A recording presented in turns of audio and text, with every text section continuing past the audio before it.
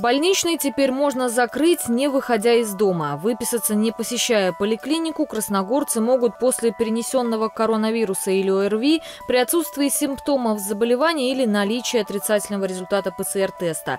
Врач диспетчерского центра сам связывается с пациентами, когда подходит срок закрытия листка нетрудоспособности и задает уточняющие вопросы. Если симптомы сохраняются, специалист продлит больничный. При этом закрыть его по-прежнему можно и в поликлинике. Решение принимается только с согласия пациента.